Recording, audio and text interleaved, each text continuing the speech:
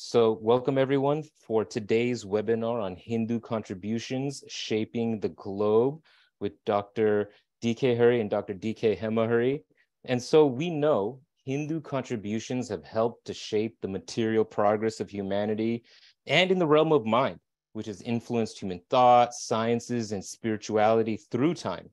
But in contemporary times, you know, following the European colonization of India, it's become received knowledge that Hindus were and continue to be ritualistic, superstitious, poverty ridden, timid, and barely noticeable as a static people whose history is nothing more than the history of successive waves of invaders and colonizers who made India their home for a time. So, why did ancient explorers from all around the world seek out the Hindu civilization and for what? So, in this webinar, we're going to begin deconstructing the myth set in motion by a 200 year colonial encounter. And before that, we know some of the history and this course gets into those contributions that have changed the world, examine the evidence for the sciences, technologies, inventions, industry, prosperity, and wealth that made India and Bharat such a de- desirable civilization across time. So we're going to get into all of that in today's webinar. Thank you everyone for joining. If you haven't yet put in the chat where you're zooming in from, please do. Dr. Kumar from Plano, Texas. Glad to have you on. Kashyap and Shraddha from Indianapolis. Welcome, welcome. Yep, yep. Uh, webinar attendees, yes, your video and audio is off. So don't worry about that. Uh, you do you while you listen and uh, enjoy this webinar. We got Prashant Amaraji from Sao Paulo, Brazil. Great to have you on. Shashiji from Austin, Texas. Welcome, welcome. And with that, let me introduce our speakers, uh, faculty, our esteemed guests, our thought leaders, uh, just some wonderful people, Dr. DK Hari and Dr. DK Hemahari. They actually started Bharat Gyan Initiative in Civilizational Studies back in the year 2000 and they've been following an interdisciplinary approach to researching India from an Indian perspective. And they've been providing an integrated Indic narrative on the Indian civilization. And their studies and their exploration has taken them around the world. They might t- tell you some of that in this webinar, the story of them going to CERN and seeing that kind of stuff. And they've been working with Hindu University of America for many quarters now, teaching a whole range of courses and even have their own certificate program, a whole chronology of courses. Um, and it is always an honor and a pleasure to have the Haris on uh, Hindu University of America for a webinar. So let me hand it over to them for uh, to get us started and uh, enjoy. Thank you. I'll be here in the background. Thank you, Dr. Hari, Dr. Hari. Thank you. Thank you, Ankur Patel, for uh, introducing us so nicely, as, as usual, in a very effervescent manner.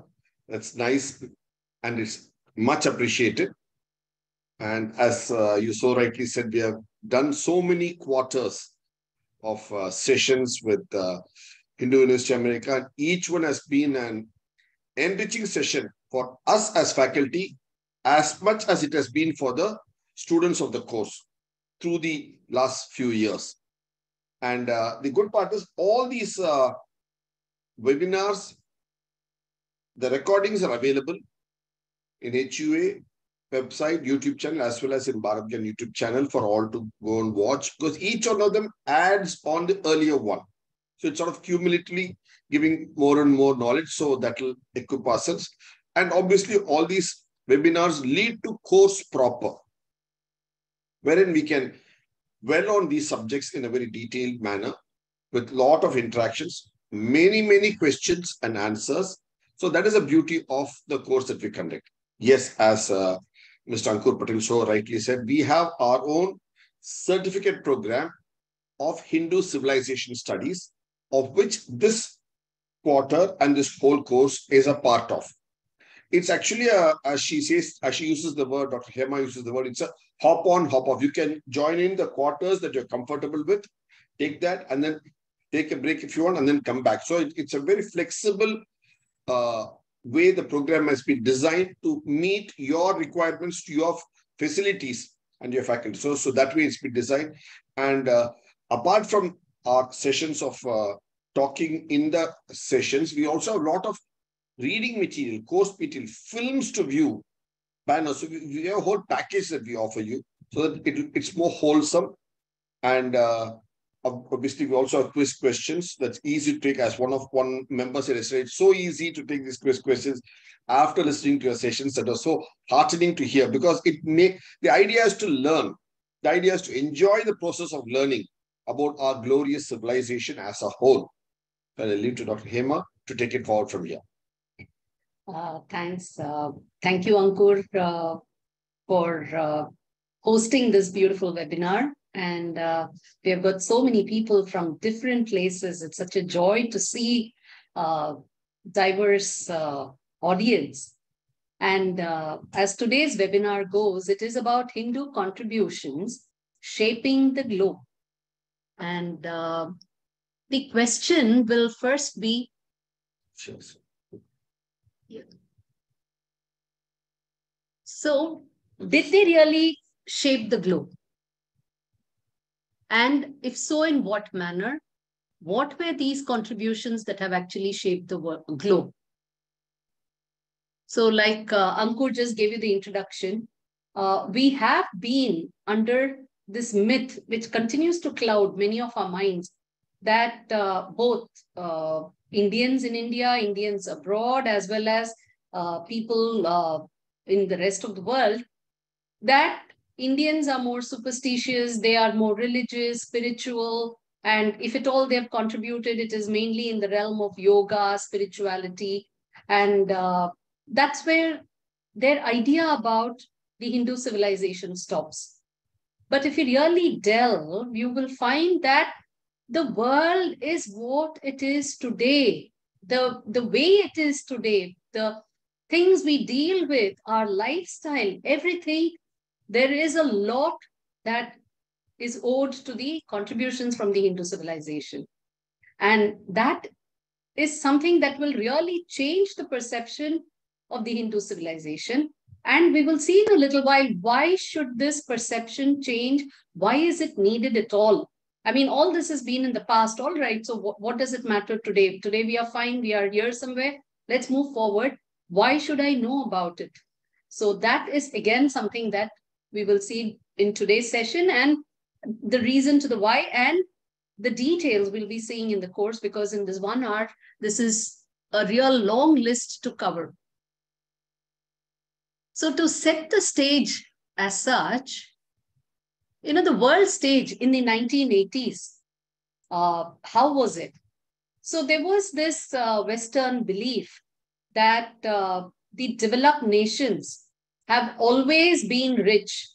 And so the, the world as it existed in 1980s, like the developed nations then and the underdeveloped nations then. So the idea was that the developed have always been rich and the underdeveloped have always been poor. And uh, that was a perception. And these kind of myths were actually shattered by one economic historian by the name Paul Bairoch, who kind of started drawing attention of America and Europe to their practice of industry, trade, and economics.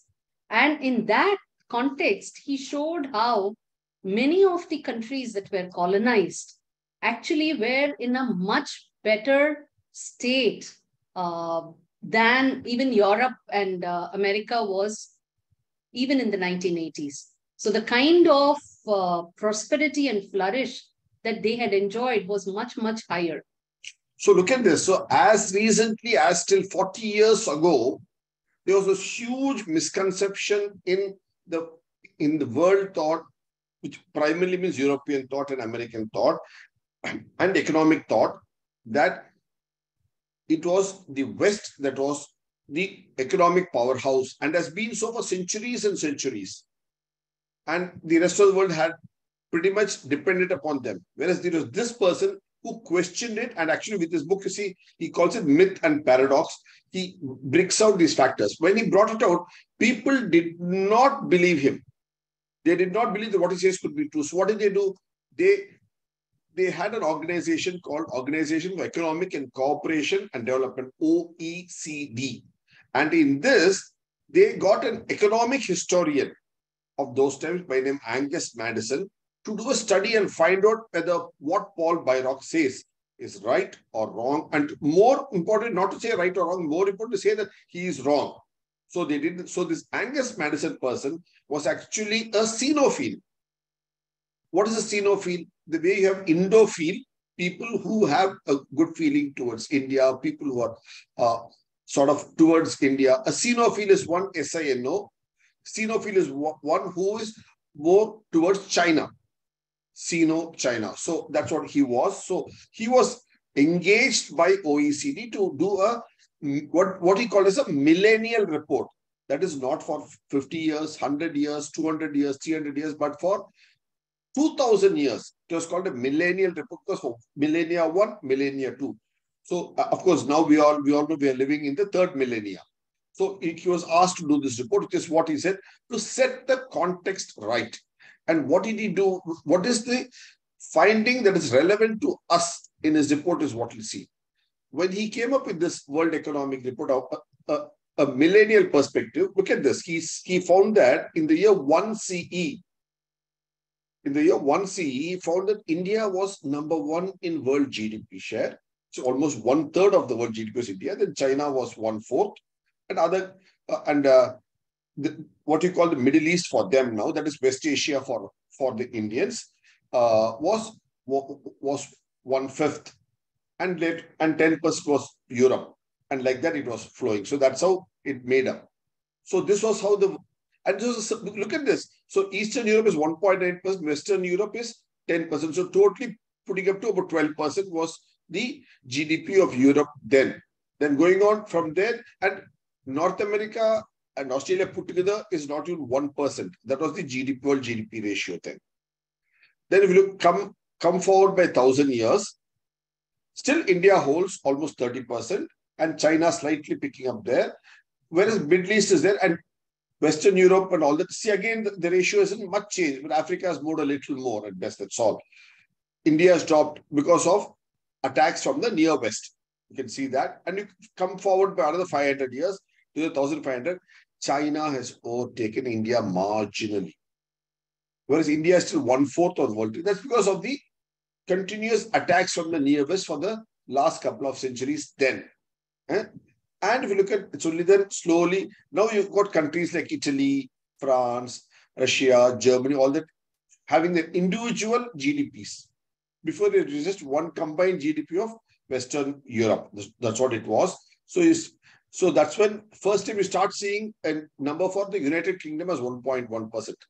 Look at the ratio of comparison. This is before the British had found India. Before the colonization of India. That's just about the time.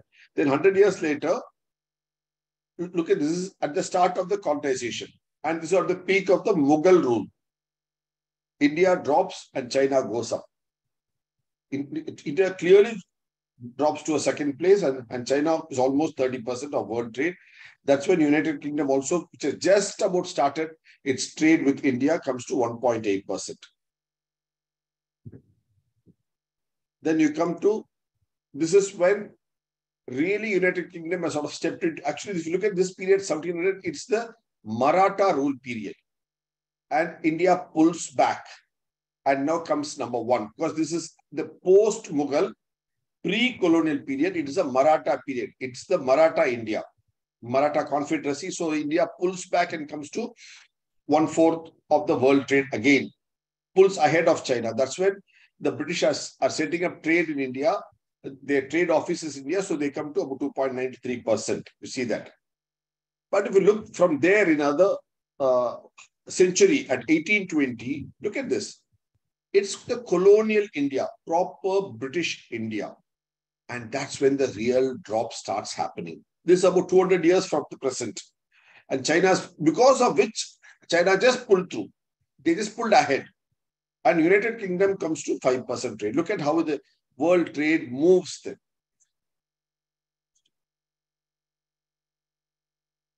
And you come to 1870s, 150 years back. Look at this. It's a British India and United Kingdom that collectively occupy one fifth and more of the world trade. And, and China has dropped by then. That's when look at this other countries like Americas and all that start getting 2% trade. Okay, United States by itself has got 9%. The first time you're seeing that 9% world trade, UK. So it's equivalent there. Okay. Now you come to the 1900s, that's about 100 years ago. US has absolutely pulled, pulled forward where others have started dropping and India is dropping down. And both put together, India and United Kingdom, that's British India and United Kingdom, collectively come to about 15% of world trade. So, so that's when the look at the churn happening, the movement happening. This is 1950 after independence. Because in see, United States has, has just pulled through the position that what India was a millennia ago. And Soviet Union has emerged after World War II as the next big power. And United Kingdom, because it has lost the crown in the jewel, India, it's dropped to uh, the jewel in the crown, it's dropped to six, to the fifth place, and India's further drop. Look how it's moving. And you come to 50 years ago, again, US and the Soviet Union have got the preeminence of place, and UK has further dropping because it's it's lost that whole colonial power lead, and India is dropping because of its erroneous socialist policies, which is keeping in which is shackling India from growing forward. That's what is happening because shackles, because the policies are not native to the land. It's imported policies that are not helping India to rejuvenate again. That's what is the problem there. And we look at now about 20 years ago, India slowly coming back. India has again overtaken UK and coming back, whereas uh, USA is right on the top. And look at this. Now it's the Middle East that's come up because of the oil trade. Primarily because of oil trade. So see how the world economics moves. Now, having said this, let's look at the Indian concept that is the focus of our course here. So just in comparison, we'll show you quickly for a moment how India's prosperity by itself, what it was, top of the world literally, and how when it was colonized, it just dropped. And post-colonization, the orange yellow line is obviously India and the blue line is uh, Britain, how it came up and fell down, where India is now climbing back. Now the point is, what is it that makes for this timeline prosperity position of the land of civilization of Bharat? That's what you have seen. see. Based, this based on his report. So the question then will arise, what constituted this high GDP? Now this discussion, this uh, Angus Maddison's report has been in discussion for the last decade or so. But have we ever gone to understand what gave India this high GDP? What were the products? What were the enablers for this production? What was the component of trade? And how did all this impact the world at all? So these are some of the questions that we need to ask. So we see very clearly that the Hindu civilization, because one CE onwards, we're talking about the Hindu civilization, and there, there definitely was wealth, because we can see this from Angus Maddison's report. And we can see that it is trade that is also the source for this wealth. And this trade could not have happened if it were if, if it was not for manufacture or industry which was the source for this trade. And when you delve then into what was this industry, you will find that there are five major components that contributed to the, the trade that was happening from India. Of course, we all, if we ask anybody, if we just tap somebody and say, do you know what India was famous for, Indian trade? The answer will obviously always be spice. But if you also look, you will see that when uh, the uh, Columbus, when uh, travelers such as uh, Vasco da Gama, Columbus, they go in search, they go in search of India. And Vasco da Gama is lucky enough to find India, the sea route to India. And he says that he sees ships that were far larger, almost 10 times larger than his ship. So with such large ships, were they trading only in spices would then be the question. So let's have a look at what were these big five.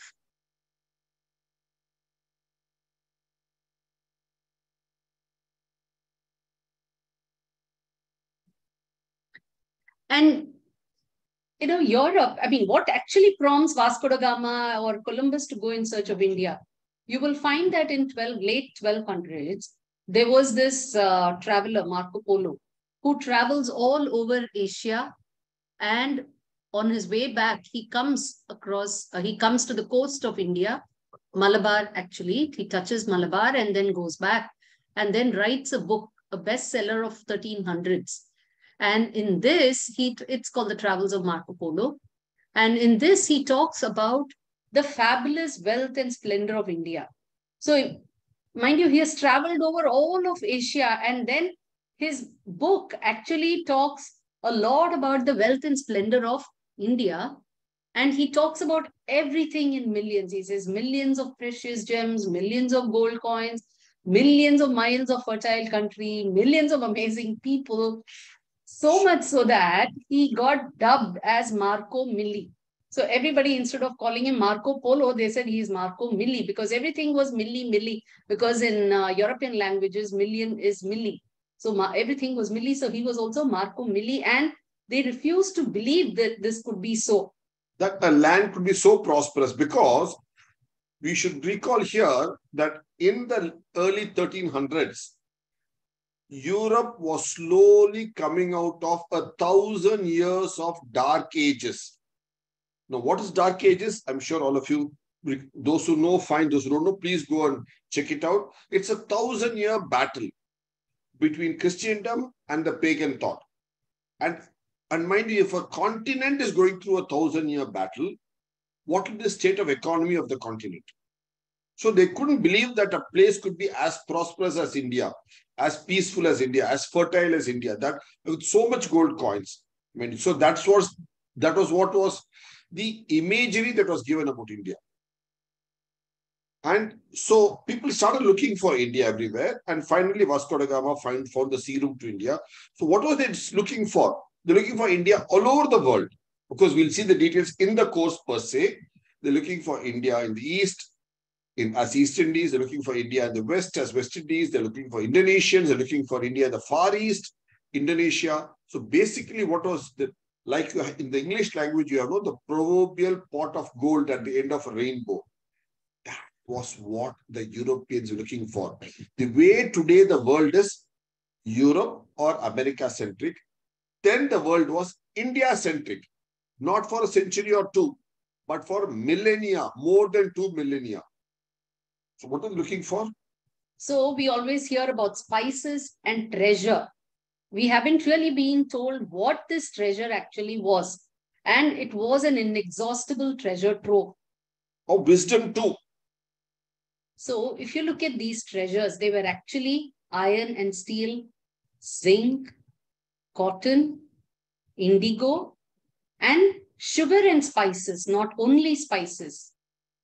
And you can see this. See, to uh, create this picture, you have to go into various aspects. None of this is given anywhere in one single source.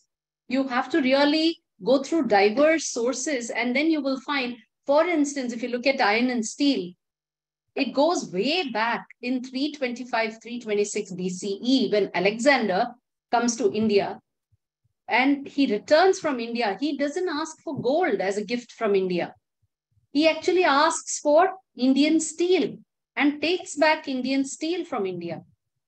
So that shows you that this steel was valued a lot more. Than even gold. Would you believe that steel was valued a lot more than gold till recently? And very, very uh, interestingly, we all know that India has large reserves of gold even as of today. And much of the wealth of India, which has already been plundered, a lot of the gold from India has already gone out. We'll be seeing the reasons why all of this happened. But for all this, India does not have many gold mines. So where did India get this gold? No wonder Alexander did not ask for gold because gold is not a produce of this land. It is something that this land has accumulated. This Hindu civilization had accumulated by way of trade of all so, these commodities. accumulate a product that is not grown in that is not grown or mined in your own country. It must be traded. And gold being one of the most precious tradable commodities, how can a land accumulate so much gold, have an appetite for gold, have a liking for gold, if you do not have products that attract gold? So we'll, we'll just show you a Look very, very interesting. Products that attract gold. So we'll show you a very interesting uh, short film. Uh, and we have many of these kind of small films to show uh, during our course. Uh, I'll just show you this uh, particular. It just, it's a totally lateral thought. So if you see, there are the big five, you know, when you look at Africa, they talk about the big five game, the elephant, the bison, the rhino, the lion, and the uh, cheetah. And uh, if you talk to human resources personnel, they'll talk about the big five traits that are very essential when they look for uh, aspirants. Likewise, we have had five major pro produced from the Hindu civilization. And since we spoke about iron and steel and Alexander not asking for gold, let us just uh, look at this uh, film.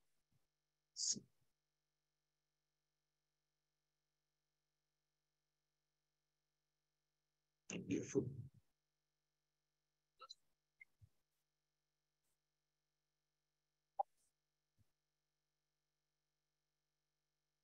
The audio is not coming through to the video.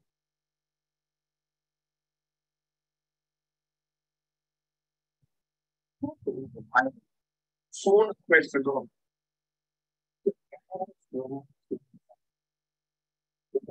Can you reshare with the share audio button?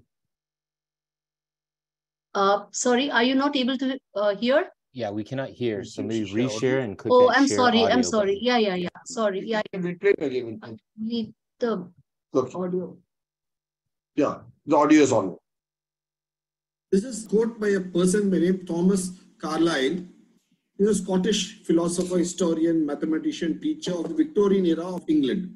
He, he makes a speech in Manchester where he makes a very clear statement. A nation which controls, gains control over iron, soon acquires control of gold.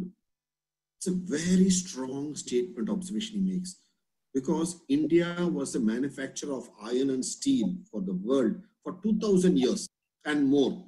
So all the gold was flowing into India. Those big ships that were navigating were actually carrying a whole lot of iron from India to rest of the world. In a way, if you see much of the wars in Europe, which were fought between the Christendom and the Islamic world, the Arabs. So, you know, you had all the crusades, the dark ages, and uh, the swords of the Arabs. For both sides, for both the armies, India supplied the steel swords. So the famous Damascus sword and all the all were supplied by India. So we were the arms supplier of the world for nearly 2000 years. So you can imagine the, the range of industrialization that was there in India. So country which controlled the iron, controlled the gold. After it moved from India, what happened? The country that controlled the iron went to England and Europe. So the wealth went to Europe, period of the colonization. So the shift of manufacture went from India to Europe. Then what happened? From the start of the 1900s, the shift of manufacture of iron and steel went from Europe to America. So all the gold moved towards United States of America. The, the manufacture of steel, huge mega steel plants happened there. Then what happened? After World War II, Japan started manufacturing steel in a big way, importing raw material, raw ore from India. We have mentioned that in our book Indo-Japan, how India agreed to supply continuous supply of iron ore to Japan. So the Japanese steel industry really flourished. So Japan steel became famous because India was only country that agreed to supply iron ore to Japan. So all the shifting happened towards Japan. 1980s onwards, who became the steel manufacturer of the world? China. So all the gold shifted to China. Look at how the pattern moves across few centuries. This, this one statement tells you a story of how industrialization has moved, how the gold has also moved, how the economy has moved. So this is an important barometer for us. Having seen here how gold follows steel and how India was the largest steel manufacturer for centuries and millennia and also the largest repository of gold of the world. In this era of new India, we see that India is by far the largest manufacturer of iron ore. And what is interesting to note here is that 50% of the iron ore that India manufactures is exported. With the Make in India policy that this new India has undertaken, if we can once again ensure that most of the iron ore that India brings out is utilized within India itself to make steel products, both for Indian consumption as well as for export to the countries across the world, we can once again, as a land, attract the gold of the world and make India prosperous.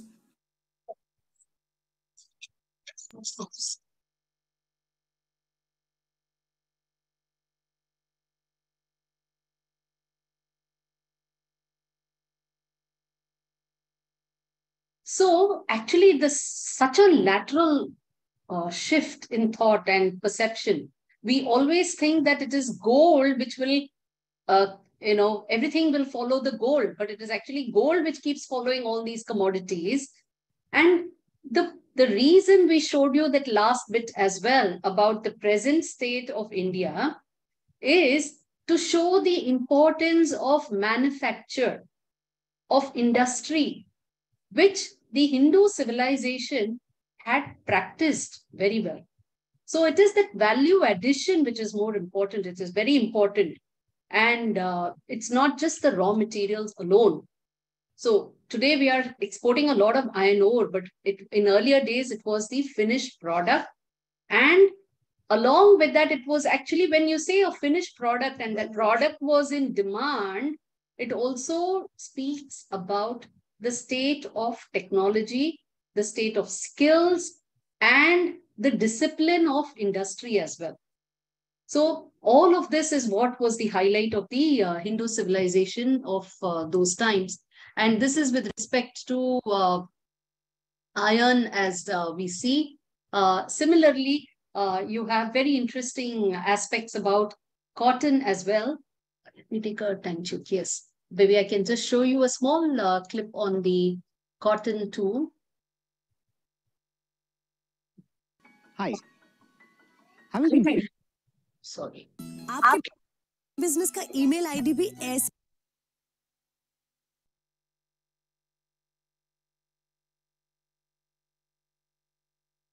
Regarding Indian cotton, there's a wonderful story here.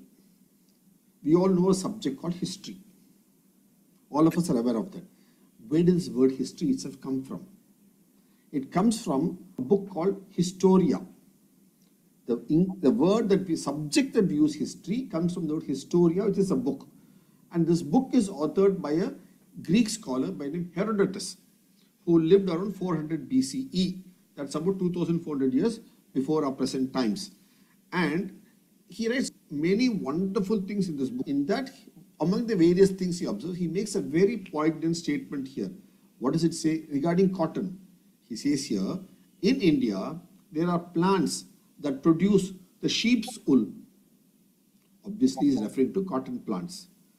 Look at this. So that means what? The Greeks and the civilizations around them, the European civilization, was not aware of cotton plant. And for them, their primary form of clothing was from sheep wool. So they were surprised that there is a plant in India that grows this product which is similar to sheep's wool, the fluffy sheep's wool. That's why he very clearly says here, there are plants in India that produce sheep's wool. They tells us many stories about the story of cotton, how India offered cotton to the world, India shared cotton to the world, and it spread all over the world from there on. So India is the home to cotton.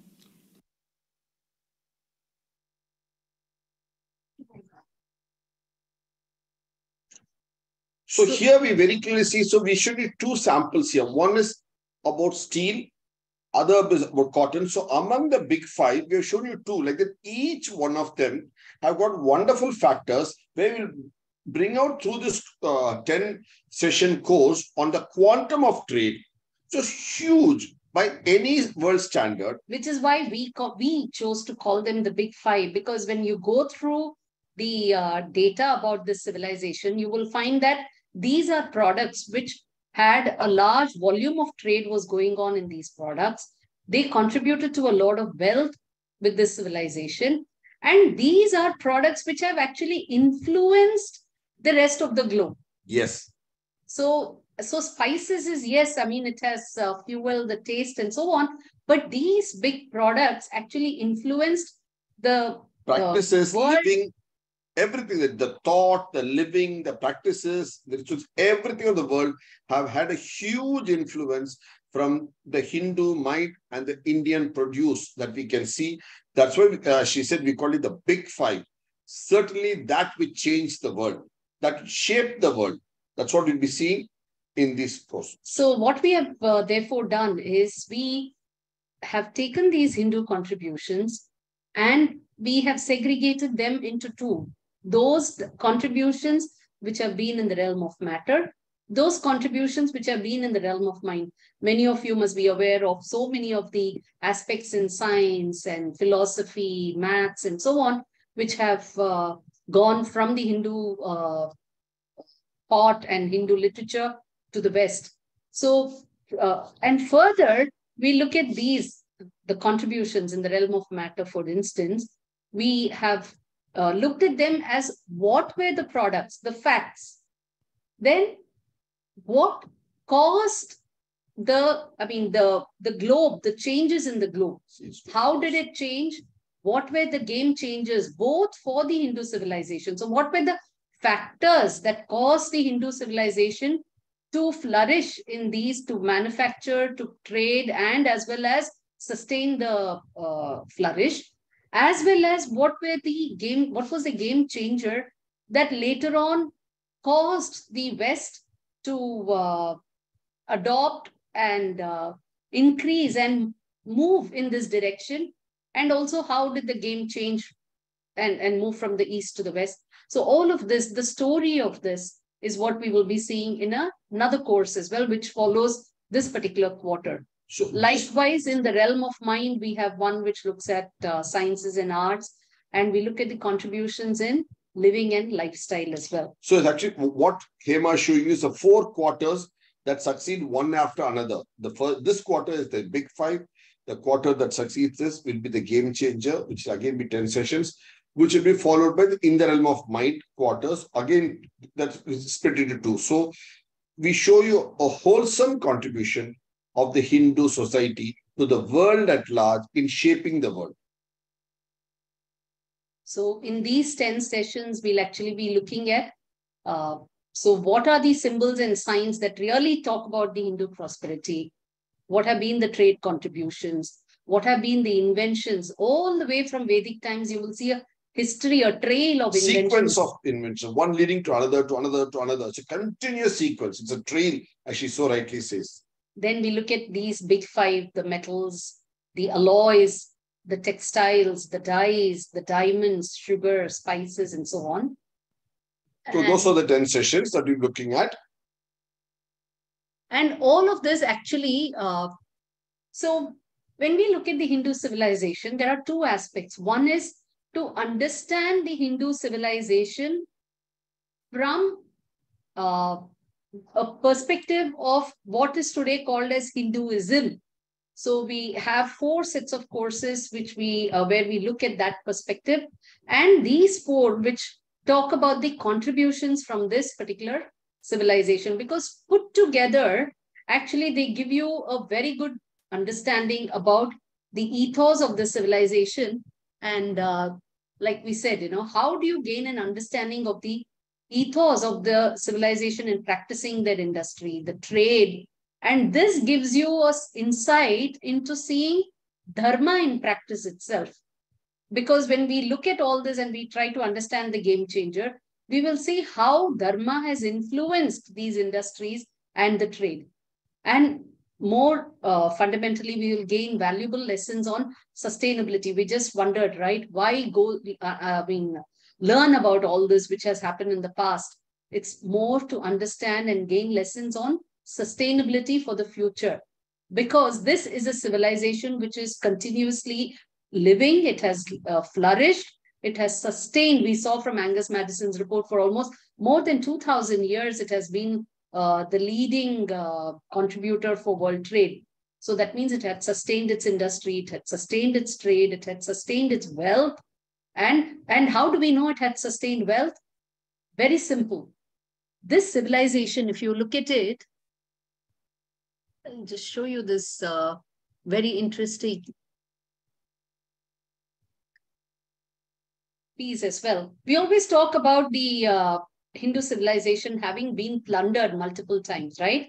So the first has been a wave of invasions from the near west. So we can categorize all these invasions into three waves. One wave, which is from the near west, one which came over the seas from Europe, from far, the colonial invasion. And then the third, after independence, also there still has been a lot of plunder of the wealth of India and uh, being sent from within India overseas. So we can look at these, uh, the, the plunder of India itself in three uh, different waves.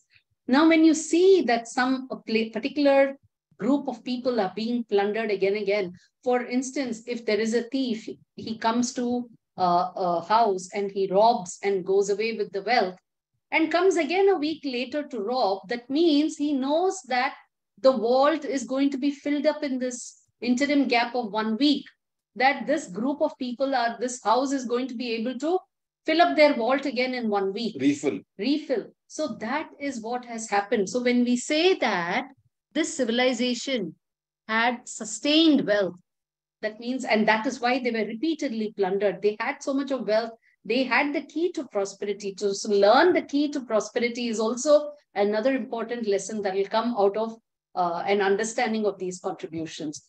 And mind you, with all this, they had also sustained ecology. So there was no uh, uh, major uh, issues about pollution. We have had the rivers continuously flowing till about a uh, few decades ago. So in spite of Indian civilization contributing to one third to one fourth of the world trade for not decade or two decades or five decades or a century, but for 20 or more centuries, that's two millennia and more, we have not had the issue of spoiling the environment. That issue was never there in the in, in the thought because we were we had a sustainable we, uh, methodology of keeping the ecology, environment, and economic. So it was an eco-eco model, as we'll see. We balanced economy with ecology. So that's why a good environment. That's a very Hindu thought. It's all coming now in the Western world and speaking about it in the form of environment and global warming in the last two, three decades. But we actually, we spoke, not only just spoke about it, put it into practice for two millennia. So which better land, which better civilization, which better group of people to consult with and take the points of advice than the Hindu Indian civilization for this purpose, which has actually put into practice this ecological system of prospering economy. That's the beauty of it. And that we, that's what we need to bring forth for people to leverage their strengths from. And uh, this is what we are going to be uh, covering in this course. Uh, you can go to hua.edu and uh, you can, uh, so if you go here, you will see that. Uh, hmm, that's a good one. So under the continuing education division, you will find this uh, certificate in Hindu civilization studies. So you can click on this and uh, you will be taken to the page where all the courses are here. I will also take you to this page to show you how this, uh, this is from the Bharat Gyan website, the Hindu civilization studies program here. So like uh, we told you in the beginning, it's a hop on, hop off circular program of eight courses over eight quarters or two years. And uh, so like I said, four courses on exploring Hinduism. So looking at the aspects of Hinduism, the characteristics and traits. And here you see it in practice through the contributions that the Hindus have made to the world. So these are the Hindu contribution set of four courses. So you could join anytime. You can join for the entire certificate and do it sequentially from wherever you start. You can do it. I mean, there is no nothing like which is a, a prerequisite. You can start anywhere and complete the whole cycle in two years to get your certificate. Or if you choose to do it in between, then it'll take you a little longer. But the moment you complete eight, you will get your certificate.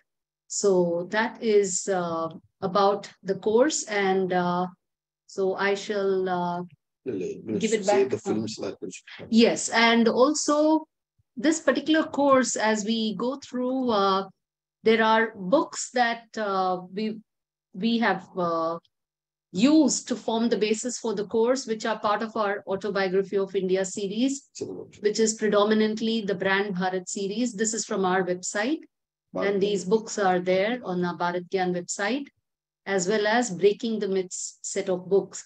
But what we've also done is to keep your uh, reading focused.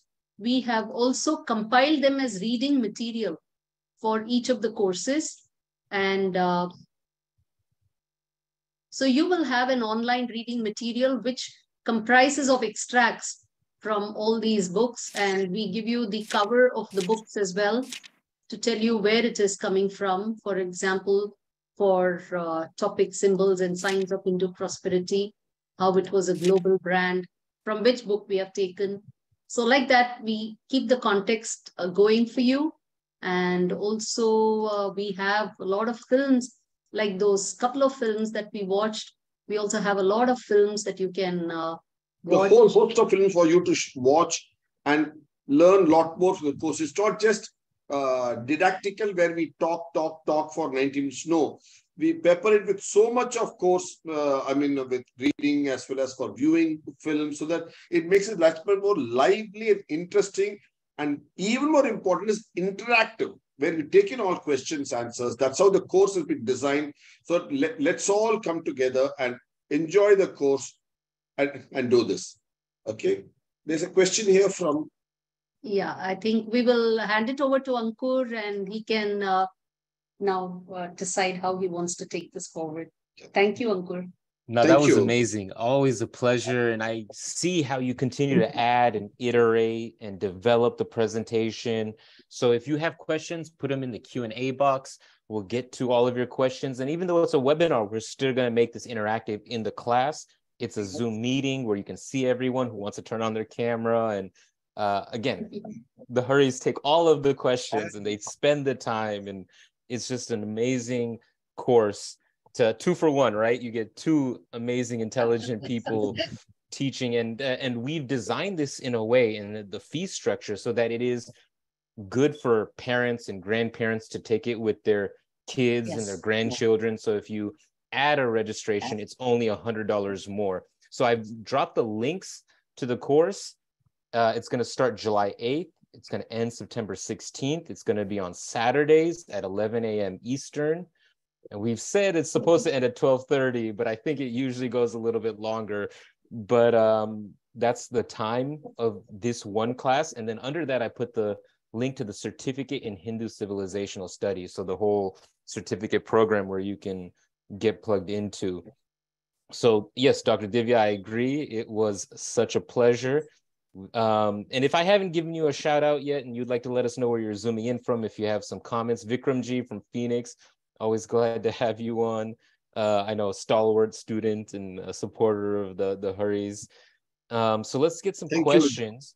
Thank you, Mr. Vikram. Yeah, and uh, I'll launch a poll real quick. We got Dilipji, of course. Always a pleasure to have you from Maryland, another regular. So the, the one question that somebody put in the Q&A box is from Kashyap Ji, who's asking, why did science research go down in India after uh, 1000, 1000 Common Era and came up in the West? What was that uh, transfer about? Over to you. Very good question, Kashyapji. See, that's because, see, what do you need, one of the important things for science is obviously continuous flow of money for research, Patronage. patronage from the right people, and what we need is some amount of peace in the land. You cannot be doing research on science when a land is war stricken. In fact, this is the reason why Europe went into dark ages. For thousands of years, it was war struck. So there couldn't be any progress there. And which is why you had to have the Renaissance. And that is when science started. And when we do the Hindu contributions in the realm of mind, we will see how this Renaissance was fueled by a lot of contributions from the Hindu civilization. So, but for Renaissance in Europe, you would not be having development of science in Europe. Isn't it? So that was a key period. Similarly, when you had attacks from the near western India from around the year 1000 in, in the in the second millennium, obviously science, among many things that take hit, science also takes a hit naturally. And it is mentioned intrinsically in the, in the works itself that science takes a big hit because the centers of learnings are, are, are burned. Nalanda was burned. Takshashila was burned. Vikramashila was burned. Mathura was burned. So many science centers in Somnath, there was a huge university that was burned. Now you're only rebuilding back university in Somnath. Each one of these were burnt down. So science obviously takes a hit. Because the centers of learning, the centers of research, which are scientific centers, take a hit. Obviously. But natural. That's why science shifted to south.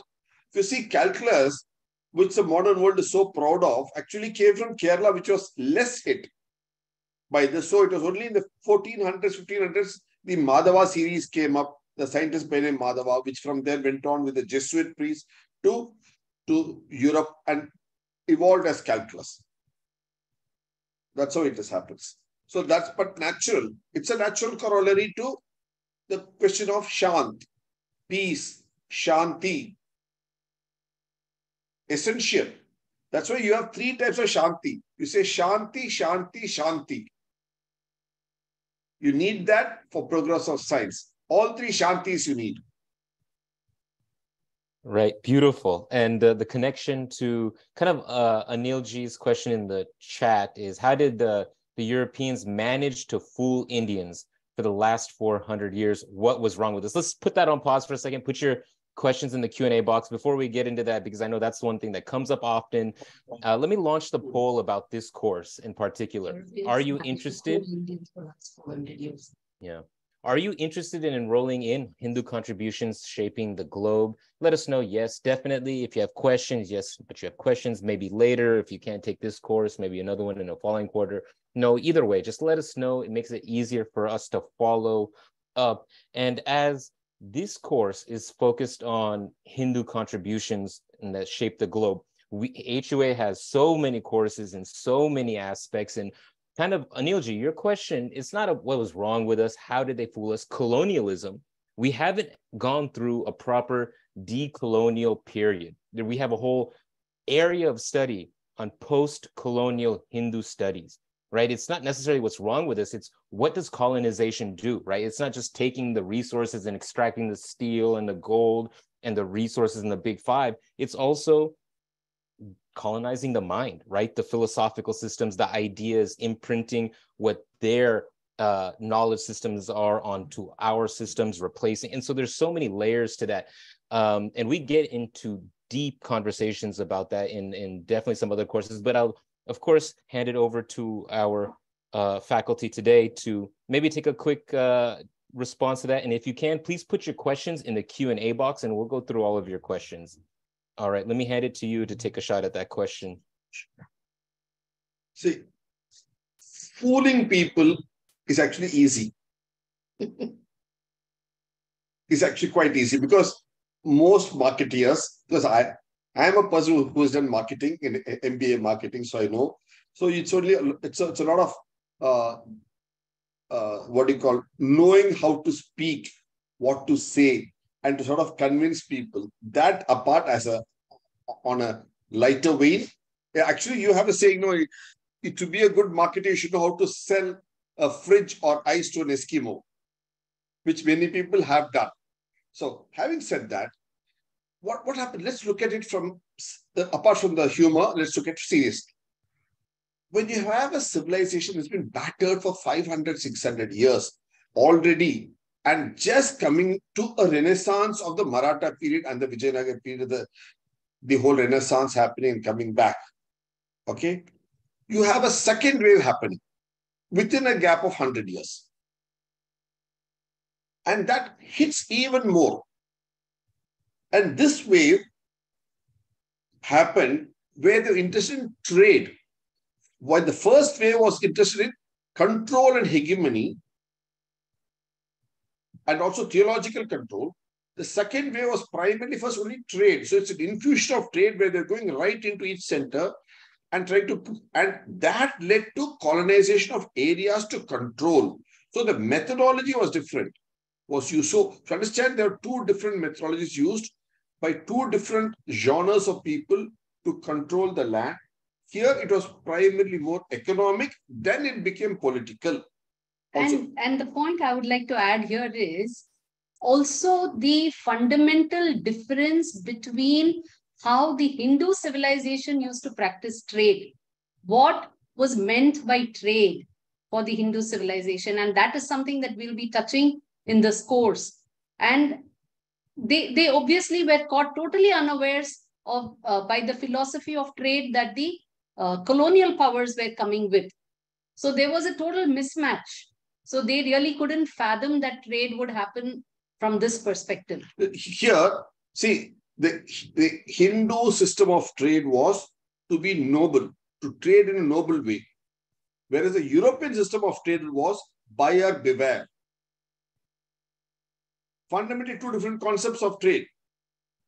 We'll discuss this when we do trade. We, obviously, it's part of the course where we show you the examples because now in a webinar, we can give the headline points.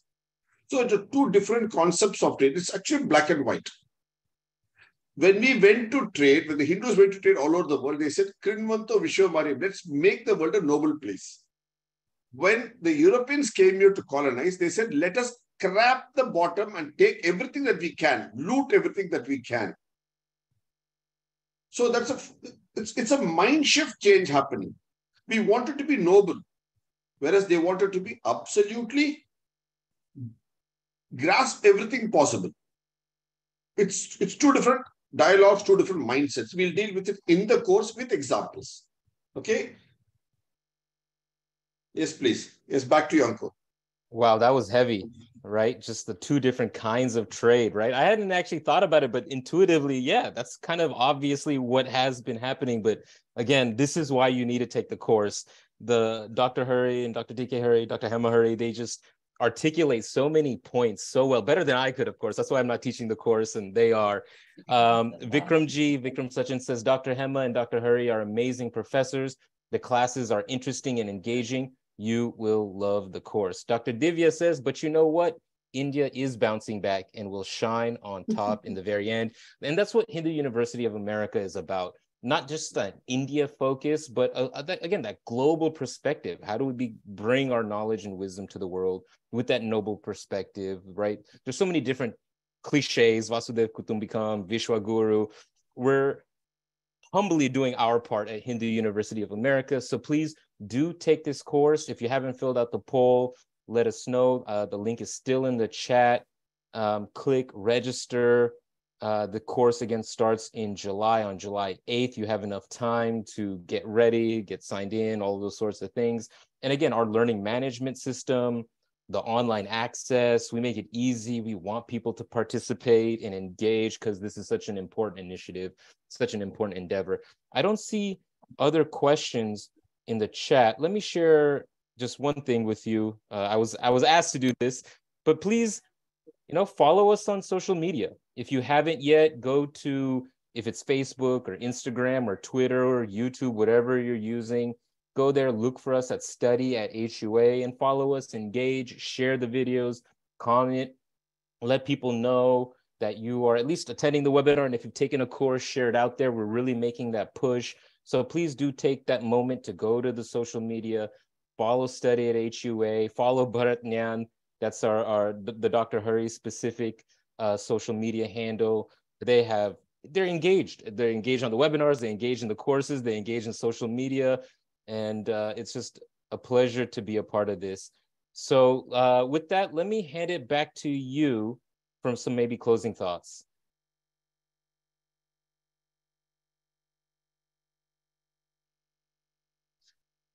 Sure. Yeah. Yeah. So yes. yeah, we'd like to thank you for giving this opportunity once again to, to meet all of you. And thank you for so many of you to have, have come on to this uh, webinar and asked uh, more than a couple of pertinent questions, which we hope we have been able to answer to the, your satisfaction because we answer straight from our heart based on the facts that we have on hand. uh, and without any filters, basically. And uh, that's how we, we, we will like to engage with all of you in the course. We certainly urge you to join the session so that we can interact more and all of us benefit from this knowledge jointly. We also benefit a lot based on the questions you ask us. That helps us to think. While we may have a repository of research points with us, these questions help us to trigger us thoughts, to collect them all together and present it to you as in the course directly. Not we prepare and come to you a week later. It's all extempore at the moment of the cuff, which with the facts that we've been able to, we have, we've been glad to, we've been fortunate to collate over the last two and a half decades and more, and bring them out in the form of books, articles, films, banners, and now these courses. So we have a variety of ways of dissemination of, of this knowledge. We'll be glad to interact with all of you and take it forward. Because as you say, each one of us, as Ankur said, are doing it in our own humble way. And cumulatively, it adds up to all these big words like Vishwaguru, big words like Vasudhaiva Kutumbakam. All these are nice words, very important words, but each of us have to contribute our bit to it. That is when it collectively adds up. The, the macro picture happens only when many, many granular micro pictures cohesively happen. That's important. So each of us have to do our own bits to make this cohesive macro picture happen. It's a long journey. It's not a journey of just one lifetime. As you see, we're talking about a journey of two million, two millennia. And more. And more. So it's how many lifetimes? And we are fortunate in this lifetime to analyze this, discuss, and share mutually with each other. That's the beauty of it. Is it. Fortunate that we are we've been born in a window where we we are given opportunity uh, and a platform to be able to sit and dwell. I mean, this is like some of the old conferences, like when we talk about Veda Vyasa having compiled the Veda, where all the rishis came together. So they, there was a period when it was conducive for people to get together and ruminate and think and work. So similarly, we are today in that uh, kind of a space and time. And we also have a beautiful platform in the form of HUA. So really uh, request all of you to uh, encourage and provide all the encouragement to keep this platform going and growing so that a lot more of us can get together and uh, uh, keep this knowledge available for future generations as well.